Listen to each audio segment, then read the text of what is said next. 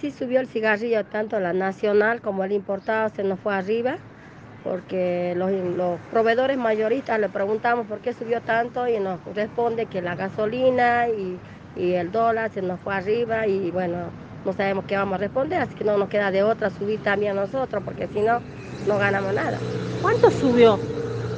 El importado, el Malboro, está hoy por hoy 3 mil pesos de 20 unidades, de 10 unidades 2.500. Y tenemos los importados, el Hills está a mil pesos ¿De cuánto? y, eh, de 20 unidades.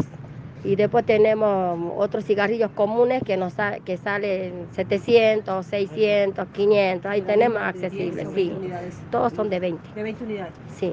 Bien. En promedio, ¿cuánto fue de cuánto fue la suba? Eh, La suba fue mucho, mucho. Estaba a 800, estaba el Hills.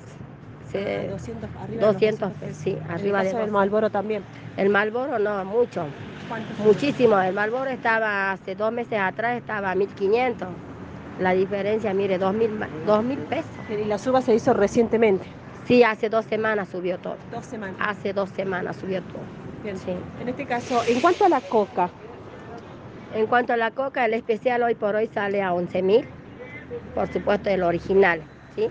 Después tenemos la común paseña, también muy linda, tenemos de 6 mil y de 5 mil.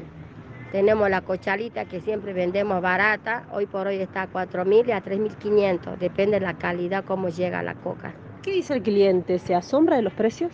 Y sí, el cliente, mire, se está habituando a la situación que estamos viviendo en la Argentina porque todo está caro en sí hoy en día, todo está caro, así que reclaman, pero bueno, ¿qué van a hacer? La- el- están acostumbrados a coquear y no van a tener que comprar, como hay gente que llevaban un cuarto, llevan la mitad de cuarto. ¿Y los insumos para eh, la coqueada han aumentado? Eh, las bicas saborizadas, hace tres meses lo mantenemos a 500 pesos y la gita mentolada y la pillagüita que viene de Perico, eh, lo manten- estamos vendiendo a 400. En cuanto a los cigarrillos, si bien ya subieron sus precios, ¿el cliente se vuelca a los de segunda marca o siguen manteniendo la compra con los de primera marca? Mm, No, mi- mire, la- el Malboro, esas, eh, los sicarios nacionales prácticamente ya no se puede vender porque es mucho el precio.